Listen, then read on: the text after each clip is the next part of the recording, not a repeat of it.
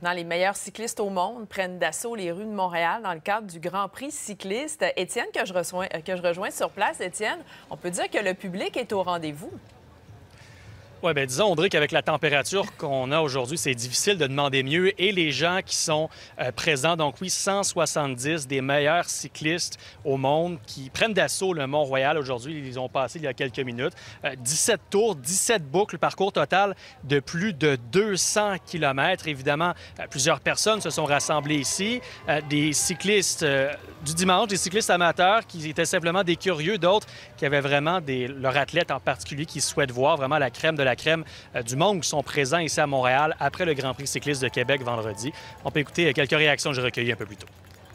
Ça fait maintenant 12, 12, ans que nous sommes associés à cet événement. Je pense que c'est un événement exceptionnel. C'est un événement qui euh, met en valeur, en évidence euh, Montréal, la beauté de Montréal. C'est cool de voir qu'il y a autant de monde. Puis c'est cool que ça soit ici à chaque année. C'est impressionnant parce que moi, je suis le, Tour de France chaque année à télé. Puis j'ai hâte d'avoir Pogacar passé, là.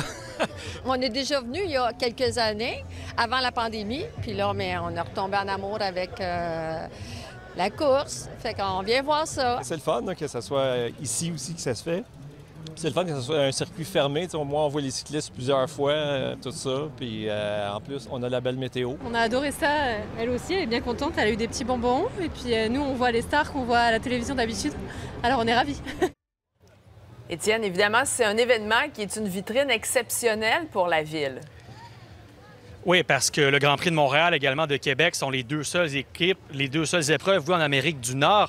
Euh, d'ailleurs, le gouvernement du Québec a annoncé vendredi une aide financière d'un peu plus d'un million de dollars pour les deux épreuves. On peut écouter la ministre du Tourisme, Caroline Proulx, la mairesse de Montréal, Valérie Plante.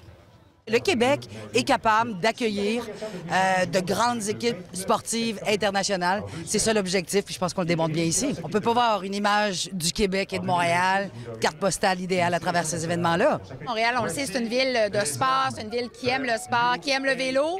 Puis le Grand Prix cycliste qui revient chaque année et qui gagne en popularité d'ailleurs. Donc, de plus en plus d'équipes qui s'inscrivent. Et on sait que dans deux ans, on aura les championnats du monde. C'est une excellente nouvelle. Une journée parfaite pour euh, ce Grand Prix cycliste de Montréal. Merci beaucoup, Étienne. À tantôt.